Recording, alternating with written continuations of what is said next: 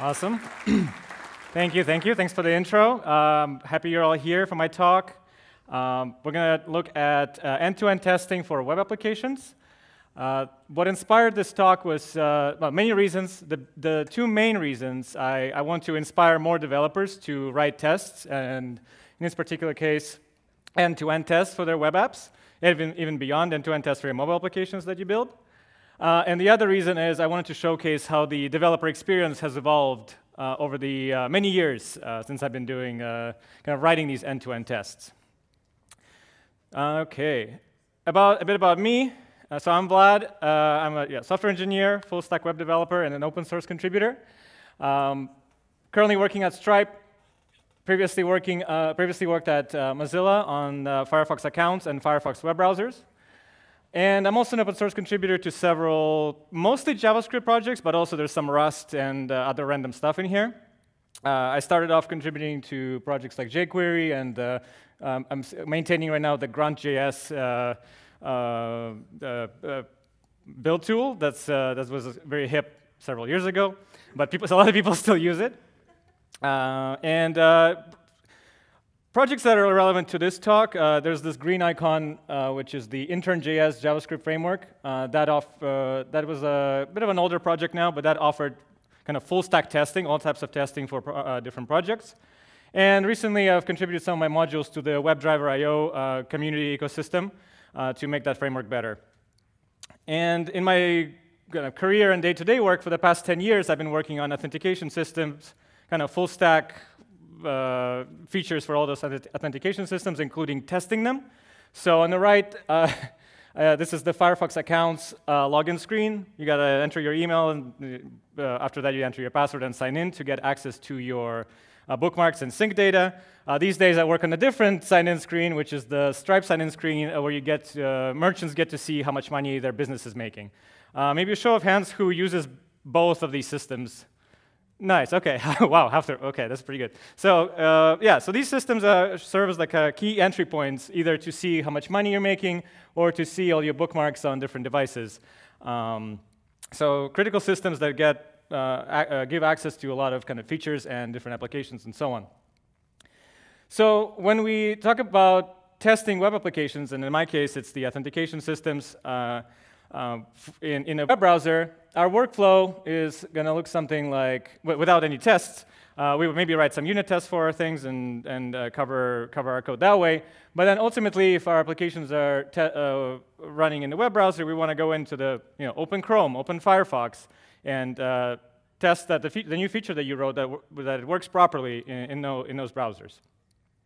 Very uh, kind of, could be a very repetitive and slow process.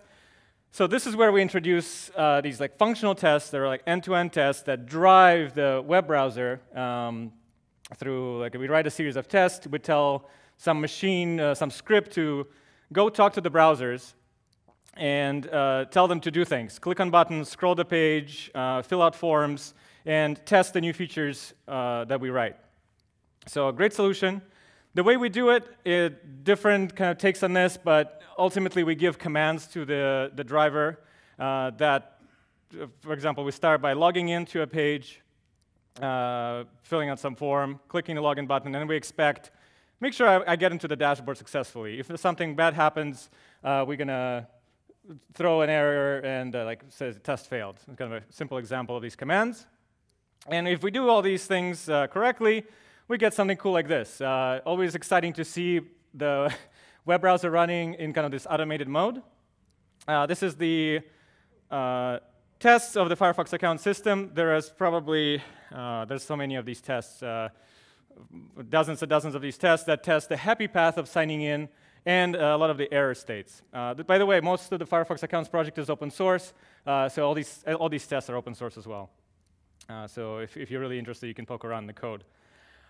And this, yeah, th when I was working on the, uh, the Firefox, Firefox, account system, uh, we've written a lot of these tests uh, to, to ensure that uh, we don't need to do any of the manual clicking. Uh, we'll let the web browser uh, and this automated tool do this for us. So that's kind of the intro of like the, kind of to these end-to-end -end tests. And this workflow and the developer experience behind automating the web browser has evolved quite a bit over the years. So for this talk, I picked uh, the nice uh, years ending on uh, number four. we have, we're going to go back to 2004, and then 2014, and just aim for 2024. Like, what's in the future in kind of in this space? First of all, uh, those who, familiar, who, are familiar with this process probably heard, uh, and like done this uh, for many years, you probably heard the word Selenium. That was like kind of the initial tool that was like, oh, maybe we should have a process to test our apps in the, in the browser. So uh, that kind of was created as an internal project and later evolved for many, many years to Selenium WebDriver and then highly influenced the WebDriver testing spec. And Alongside, there was other cool projects. Uh, who here used Phantom.js? Nice, okay. Uh, the amazing logo that they had. Uh, that was a cool uh, headless solution to uh, run through, uh, kind of not spawn a new browser window, but allow, allow you to get access to the web APIs and run your application through a series of tests without opening a browser window. It was kind of very cool, and everyone was super excited about it. Fast forward to 2014. Uh, this is a slide from my presentation. I think it was at a Full Stack TO. And uh, at that time, uh, we were getting even uh, kind of the, the developer tools were exponentially growing. We had better CI systems that could easily, with like Travis CI, we were able to quickly set up to run these tests in, CI, in the CI environment. Sauce Labs allowed us to test our applications in different uh, operating systems, different types of browsers, different types of devices. And uh, we got more web API features, web components, uh, some of the cool offline stuff that's in, uh, uh in the DOM, in the browser. And mobile testing was kind of growing, testing mobile websites, mobile applications. Um, and uh, today, uh, we have more tools. These three are open source. I think yesterday we also mentioned Cypress. these tools have been developed in, in, the last couple of years, and uh, we're gonna, uh, I'm going to highlight uh, some of them in my talk today. First of all, I wanted to also mention like why do we why do we write these tests? Why why do I write these tests? So first of all, like any type of test, we want to track down uh, code regressions. So uh, you write a new feature, make sure you want to make sure you didn't break anything uh, that was, was already there, and um, specifically with the web application workflow, we get to perform a series of tests in different cross-browser environments, as well as different browser configurations. Uh, so unlike uh, kind of testing maybe other types of like native software, we get to have fun and uh, uh test this stuff in like uh, WebKit, Gecko, or Blink, or, or Chrome-like browsers. Now, these types of tests cut down the amount of manual tests we need to do. And also what I like about the, the test is that they mimic real user behavior. So when the fake automated window clicks on buttons, that's very uh, similar how real users click on buttons, which is like as close as you can get to kind of real user uh, uh, tests.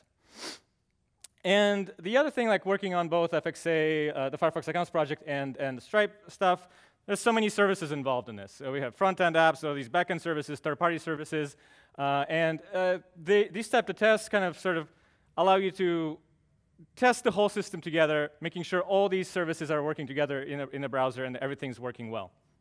In case like some third-party component uh, uh breaks, uh, you can, you, these tests will detect that. The main reason why I started working on these types of tests years ago now is just the confidence in shipping code that's me right there, sleeping good at night, because I know that I wrote 20 uh, tests for this new feature that I wrote, and they're passing, and I'm like, whew, okay, cool. That, you know, I didn't break anything, and, and the existing tests are passing. So the confidence uh, in shipping is always great. Now, with these type of tests, we get a bunch of challenges. Uh, testing in the web browser could be uh, interesting because there's so many systems involved. Uh, first of all, uh, the first challenge that we're going to take a look at uh, would be actually writing these tests. Like any other test, like, oh, okay, I got to sit down and write these tests. Uh, for example, I implemented a forgot your password flow in the, in the Stripe merchant dashboard. Okay, in the next half of my day, I'm going to go start writing these tests. And as part of that, with like the complexity of web apps today, I need to go and track down like how, how do I figure out how, like which which, uh, how do I find this button for like the forgot your password button, right? When I open the inspector, it's like, oh yeah, there's an anchor and there's like three nested divs in there. what is the right selection mechanism here I can use and like find the password reset button uh, to write my test. And I have to do it basically for the whole happy path, of, for example, a forgot password. Imagine I wrote these tests, and then what happens, uh, these tests could potentially flake out. The reasons why could be so, so many reasons why, right? There's uh, the, the tests I write, the logic could be bad, the network could, be, could fail in the browser, some JavaScript thing could be slow or like uh, not load in time. Uh, this is a famous Selenium error that kind of uh, I have uh, printed in my brain of, like for the last uh, kind of working on this uh, years ago uh, is like Selenium tries to find some element and it takes 52 milliseconds to find some button. And you're like, wow, okay, my React app is not going to be there in 52 milliseconds. So, uh, and the, but the robot doesn't care. It just says, well, I looked everywhere for this thing and my, I'm so speedy I can uh, try to track it down. I couldn't find it, I give up. And with like complex cases where uh, you know you have some like fancy form that you're sending in and you have like validation that like highlights and maybe overlaps some input elements um, maybe it's a, like a pop-up that you need to detect that the pop-up correctly works and says you got the wrong password. Uh, all that with like CSS and JavaScript animations can also flake out these tests. So the flakiness is those who worked with these type of tests, you're like, yeah, I know the word uh, kind of flaky tests because this is uh, this will kind of uh, I'll have to battle that. Once we've done, you know, written this test, reduced the flakiness as much as we could, uh, then we're like, you know what, I'm going to put these tests in CI. And we just had a talk on Circle CI. Um, we saw, I think, some Circle CI UI and so on. This is not a Circle CI. This is a failure of a test. Um, and uh, if you run these tests in CI, uh, I think was, uh, they mentioned how uh, uh, you could uh, see, kind of, you can like SSH into the machine and debug why did this test fail. Um, kind of similar for functional tests. If something fails like this, you want to be able to track down, okay, is, it, is this a flake or is this like something really, I wrote some code and it broke some feature? And you know, by this looking by this code, it's kind of hard to track it down. Um, so we need to be able to kind of find a way, what is, like, find a way, what, what, what went actually wrong, uh, what went wrong with the test that you wrote, uh, or uh, uh when it runs uh, several times. So yes, yeah, we've got a lot of problems to solve. Uh, so flakiness, spending time writing these tests, CI, debugging them both in like local, on your local machine and in CI, and over the time, uh, we're just talking about like the um, Circle CI build giving you information if your build is successful or not in 10 minutes. Uh, you might have the kind of a series of tests that are slow and, uh, and take forever to run. Uh, and as your system grows, you're going to have dozens and dozens of these tests. You need to be able to come somehow quickly run them, uh, maybe in parallel, maybe some other opt optimization techniques. Uh, um, another challenge that we need to solve. so testing tools to the rescue. Um, uh, some of the things that uh, we have at our uh, kind of tool belt today. Uh, so all three tools I'm going to talk about are open source. Uh, you can check out check them out. I think most all of the three are on GitHub. Uh, first one is Puppeteer. Some of you might use this as well. So this is not like I don't consider this like a testing framework, but it kind of can get you to a point where I was just showing Firefox account screen flying by, forms filling out. Puppeteer can lets you control the browser in the ways you need. Uh, and you can even write uh, you know, can your own testing framework if you could with Puppeteer. Um, I've seen people do that. And uh, you know, it's a node module. you require it. You can go to create uh, new pages, uh, go to some URLs, take a screenshot, and then if everything went well, it will close the browser. Supports uh, Chrome and Firefox, and it's great. Then on the other spectrum, we have WebDriver I.O. So I'm a contributor to uh, some, one of my modules is in this ecosystem. And WebDriver I.O. Uh, kind of gives you the full, like the way I consider it is like full flexibility. If you have a lot of time to spend to uh, into like, investing into your own like test harness and like be really picky about uh, what your test, how your tests are running, uh, you can spend uh, days and weeks configuring this and get the get the system that you want out of it some examples here, you know, we can switch between the WebDriver protocol and the Chrome DevTools protocol. We can run Chrome in the headless or disabled GPU environment. So it kind of gives you uh, kind of a lot of things to tweak with, uh, to play with, and um, uh, kind of uh, if you're interested in this stuff, it's great. Uh, but you know, some some developers don't have time to spend configuring all this, so uh, you kind of have to pick your battle there. And uh, in this talk, uh, I wanted to kind of focus on the, the Playwright uh, project. I think there was a mention of it yesterday as well.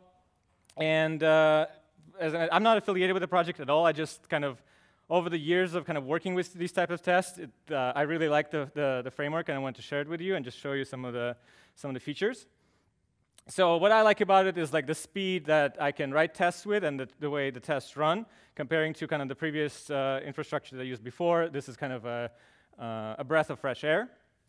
And uh, correctness, like the reduction and uh, kind of the investment in the reduction of flakiness is great. Um, it is also a multi-environment tool, so supports uh, uh, all sorts of browsers. And it also offers people language uh, choice. So I'm mainly kind of trying to understand, like people in the room, like mostly seems to be writing JavaScript. But if you know, if you're a Python developer, uh, .NET or Java developer, you can actually use Playwright and write code um, in those, uh, write, write tests in, not, in those languages. Uh, you don't have to uh, use uh, TypeScript or JavaScript if you don't want to. A bunch of other reasons that I was kind of thinking of, like usability-wise, it's great. Debugging the tests, I'll show that in a demo. And um, it feels lightweight in a sense that from like a developer experience point of view, there's a lot going on behind the scenes. You know, it, it installs the browsers for you and uh, uh, kind of uh, there's all this like infrastructure to run these things, but it feels lightweight in terms of just like, oh yeah, there's a config file and there's like a, my test directory and off I go. And I found it like really works well with like QA uh, integration for like, with a QA team. Uh, it's uh, the code is clean enough that like a QA team can understand and um, uh, uh, fix the tests or run them and, or, or even use them for their kind of advantage. So for this talk, I uh, set up this uh, fake Refactor23 login portal. Uh, so another login form, and I just can't get enough of them, I guess. Uh, I'm going to show some demos of how we can test this form, imagining like we just like written this kind of new feature for here, maybe like the sign-in flow in here. So a basic uh, login form right there. And uh, the backend code for it, let's, uh, here's a, here it is on the left in VS Code. And what I have so far in here, I have a bunch of features in here, but the login test is empty. And I already have Playwright installed in this project. Uh, not going to spend time on that. But what I'm going to take a look uh, at is uh, actually creating a test with this framework. So I'm not going to go and uh, look for the Playwright API docs or anything like that to figure out like how do I, what do I import in here? What, what's the test structure look like? And instead, I'm going to use this CodeGen command and uh, just run that. And what the, npx playwright CodeGen command will do, it will spawn a new uh, Chromium browser, and it will sp spawn this Playwright inspector for me. So far, so good. I will zoom this in so people can see.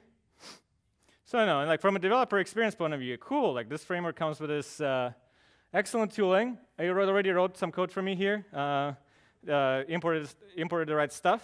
Uh, so now we can begin uh, writing a test. I'm going to copy paste the URL into uh, here. Do, do, do. And paste this in here. And navigate to my authentication screen. What happened here in the inspector, we already have a go-to command written for us. Is like the test knows, oh yeah, here's where uh, we would go to get to this uh, website. And uh, you know, I'm going to start with filling out this form, uh, typing on stage. Here we go, Vlad at example.com. I'm going to hit uh, the password screen, and I'm going to do uh, type in password. And then I'm going to be very annoying for the purpose of this test. I'm going to hit tab. And I'm sort of testing is like, oh yeah, does the tab key goes to, uh, goes, uh, does it go to the remember me uh, section? And then even more annoying, instead of clicking on it or whatever, I'm just going to click uh, space and check that. And then I'll go back to normal and just click sign in. So all those things have been written for me on the right. And I got to, I logged in. So a very kind of simple example.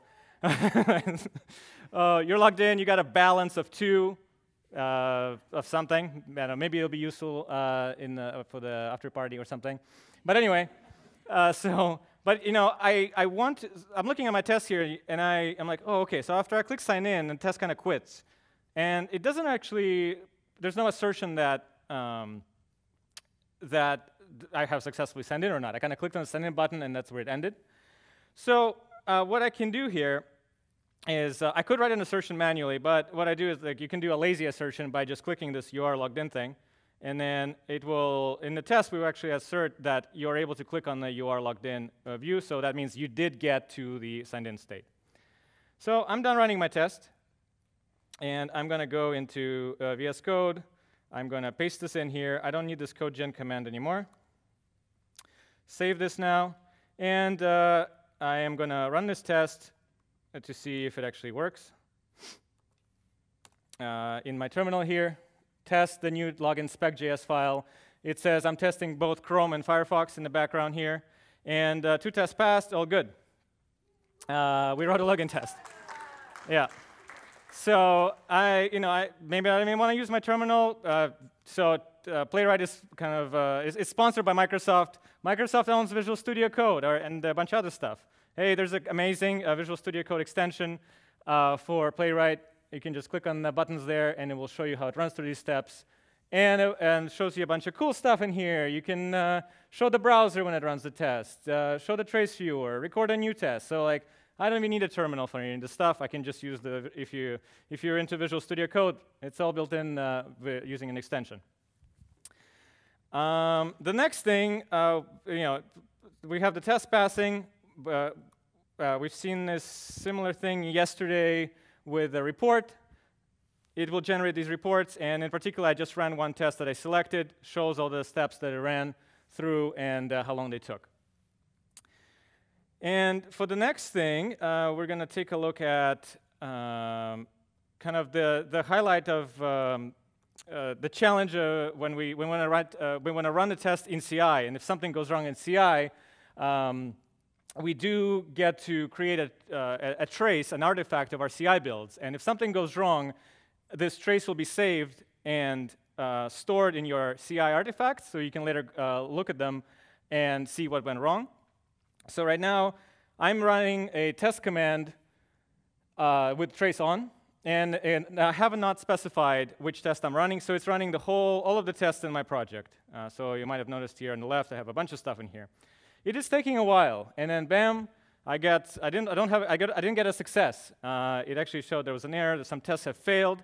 So then you get this report, more tests have ran, the ones that failed are up top, Chromium, Chromium and Firefox, both browsers have failed. And now I do get this uh, new icon that with tracer on, I can view the trace, I can go into the test, and um, uh, the traces will be attached on the bottom. And if it's hopefully to see this URL ends with a zip file. So it, uh, these traces are like artifacts in your CI that you can later look at. And here, uh, like the, the, tracer is getting better and better. Right now, it will show you here the, the steps I took to go through the test. And later on, uh, like a, there's a red dot there to click on the icon, uh, on the button. And then it tried to look for, for some reason for the forgot uh, password uh, link on after signing in, which is totally wrong. So we can kind of debug this test like this. And we also get some additional information here uh, on every step, uh, what kind of networking operations uh, were happening as well. So uh, pretty cool. Uh, the trace viewer is very good in terms of, like for me when I was debugging Firefox accounts test, you know, like I had to take screenshots manually as I went along. Now this is all kind of built in. Uh, and, uh, yeah. So next thing, uh, uh like the other uh, kind of testing frameworks, we we code gen a bunch of stuff, but we can write assertions. Uh, one way we can like test that balance that I was showing you, the balance of two. I'm gonna add an assertion that on the logged in page there is there's an HTML element that is the balance, so I can run through that and that runs through the steps again and then in 8 milliseconds asserts that, uh, yep, the balance is 2, everything is uh, good there. For folks who uh, use Python, very similar commands. With the Python world, you install the playwright uh, executable, uh, you code gen the same way. The code gen command in both, uh, or like many environments, supports the device, and I believe you can pass in the URL so it automatically opens the, the page, the browser, the right page. And then for those familiar with Python testing, PyTest is, um, is uh, the, the way you would run the test. So that was an example of testing our login system. And some of the highlights from here, uh, over the years, like I had to deal with flakiness manually myself. Luckily, uh, the Playwright developers uh, thought of these flakiness issues, and what they did, they added additional logic to check uh, for things like buttons. Are they, when I'm clicking on a button, is this button attached, visible, stable? Uh, usually I think it means like if it's being animated or not. And if it can receive events and it, it's enabled, so it will uh, not flake out as much. Um, so it, this kind of additions are great. The other four features are kind of uh, my examples that I had to write Node.js code and the kind of infrastructure to make this work. With tools these days, like Playwright, you can uh, have screenshot tooling built in. So that means um, I can uh, take a screenshot with the built-in APIs, but also I can do uh, pixel diffing built into the system itself as well. So in this case, it's like max diff pixels percentage is 100. So I want to make sure that the, the change between the snapshots of the screenshots of the app are, uh, that are not different from what the application is showing you in the test run. Uh, parallel testing also built in. Uh, in Playwright, you can just pass in fully parallel true, so it will do, it will shard the test as much as it can, so your test uh, run as fast as possible in CI and hit that uh, less than 10 minute mark that uh, we just saw in the previous talk. Uh, adding accessibility testing, also super easy. three lines of code, well, go to some URL. There's an AxeBuilder module that will take the, the page object and it will generate number of accessibility violations in your page. So you can start with like, uh, you know, at first it will probably throw like 100 errors at you. You can work in your test to drive down this number to zero and not introduce additional accessibility violations uh, by just checking to make sure that the violations uh, array is uh, empty. And uh, browser configuration, so when I was working on the Firefox Accounts project, we actually had to create a custom Firefox profile when the test ran. So uh, that uh, required, you know, I have to write some code in here. These days with frameworks, you just pass in, you know, I want a color scheme dark. That means the browser will run in the dark, uh, dark theme mode. Geolocation attributes, viewport, and things like that. And this is where we, all these developer experience tools, they're great. You got the trace viewer, they got the inspector and code gen tool that will generate code in different languages and for particular environments if you either want a test runner or uh, like a library mode. And on the right here, we have the GUI mode, which allows you to um, write tests uh, uh, sort of in this like live reload mode. So as you work through your test, it will automatically go ahead and like rerun them all the time. So it gives you quick feedback. Uh, so you spend less time writing tests, switching between the terminal, the browser windows, et cetera, et cetera. Uh, very handy. GUI mode is, I think, brand new this last year or this year.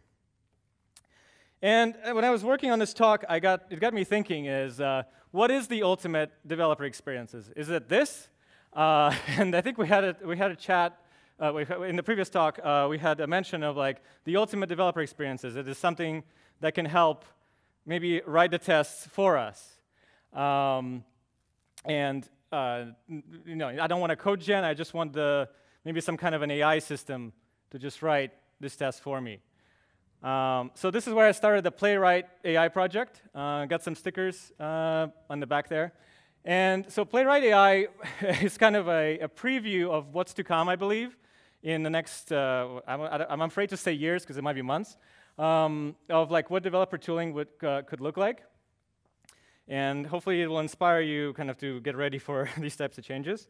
So uh, to demo this, I'm going to show you a more, just a bit more complicated site. So it's kind of, okay, it's a refactor, very ugly looking refactor conf website. And here, you know, imagine you worked all day on this. You're like, okay, I got this first mock of this website done, and, and you know, it looks good enough. So we have the logo, we have the nav, we have a search bar component, we have the login component that uh, kind of looks similar to what we saw in the first demo, and we have some footer links in the bottom. So, you know, the next step would be, you know, I want to make sure I can test all these components. Uh, so I guess I'm going to run CodeGen, I don't know, at least four, five times uh, and like tests, create tests for all those components. Or I can go get a coffee and let the AI do it. so so um, I'm going to switch to uh, the code base for that project. Uh, I'm going to, let's zoom in a bit just so everyone can see. So here on the left, I have the index page. That's the form, that username, password. That's, I think, the, the index page of the site. There's a bunch of other pages here on, the, on this site. And uh, it's running on port uh, 3001. So I'm going to give this to my Playwright AI tool. And at this time, um, here are the three parameters that I'm giving to the tool. The first one is the endpoint. That one is for, I don't know if AI can figure out which, where my application is running. I haven't, I'm not really sure what to, how to figure that out yet. Then I have this component uh, here, uh, sorry, I have the second argument here, which is c equals 5. So uh, this is like short mode for a number of components I want generated. In the future, you probably won't have to need to pass this. Uh, the system should know itself, like, oh, I have tests for te uh, 10 of these components. Uh, and the new one that you wrote, I don't have tests for it yet. I'm going to write one. And also for the personal presentation, I just kind of, uh, I'm letting this to be flexible. Finally, I'm going to give it the AI model that I want to use to generate these tests. Uh, model Claude, this came out actually on Tuesday, so it was kind of a rush for me to implement this in this tool. Uh, but Claude 2 um, uh, is, uh, um, yeah, it's, it's, it's got better coding abilities, and it's developed by the company called Anthropic. We, we, saw, the, we saw the mention of it in uh, early, uh, the, the talks before, the, before lunch.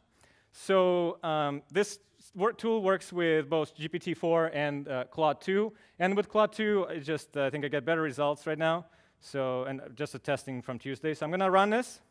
And uh, let's pray uh, that it will actually do its thing. Uh, it, the, the tests that it generates are kind of, uh, could be a bit random, but um, uh, so what it's doing, it's fetching the endpoint on my website.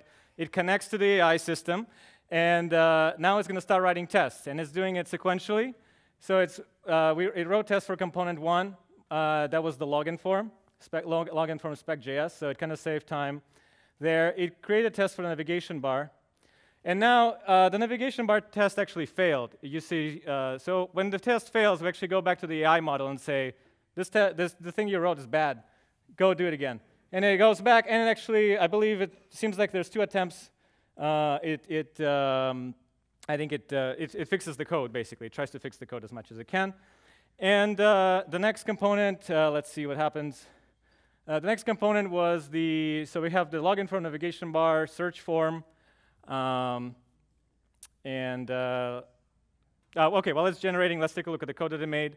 So login form, uh, sometimes it's got very, it, it, found the username and password uh, fields, it found the sign in button, it clicked it, and uh, this assertion sometimes generates the right thing or not, but sometimes it will assert that uh, it actually arrived to the page that it expects. In my case of the app, it's slash auth, so I can actually easily fix this test if I wanted to. Uh, navigation bar, I believe it usually clicks on all the buttons in different ways. And the search form, it also finds the form.